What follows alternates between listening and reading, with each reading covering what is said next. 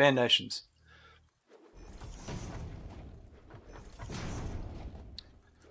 Now I have a particular layout that we're going to use.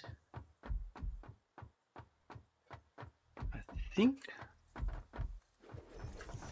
there's a couple of different methods to connecting the coal and the water together.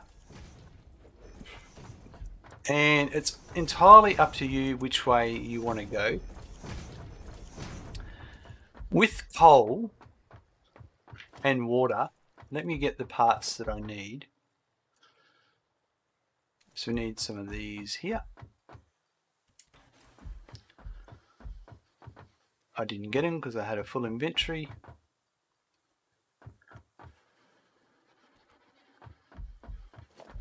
We use, we need water extractors.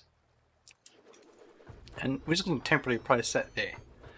And a water extractor uh, will give us the water we need. They give 120 per minute. Um, and the um, each coal generator needs 45 per minute.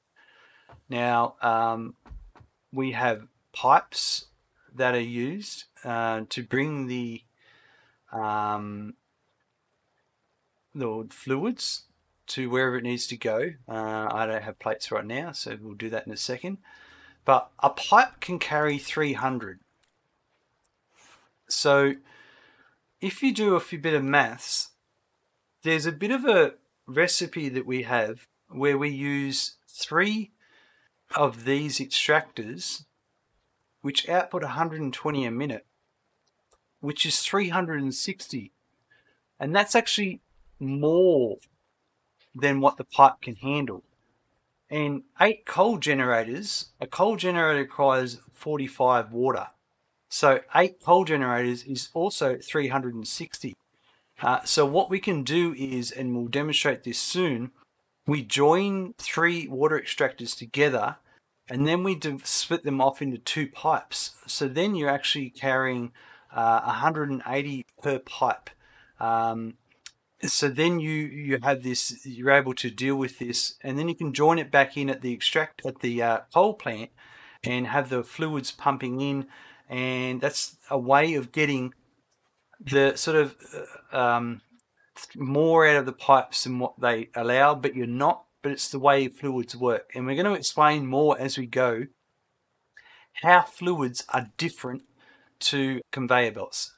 The one important thing I want to talk about right now when I start is that um, a water extractor and water can only when you have to pump upwards you need uh, pumps and pumps require power. But the water extractors by default provide 10 meters of lift. So these are four meter foundations. So that's four. And that one's sort of roughly at the start. So there's four, there's eight.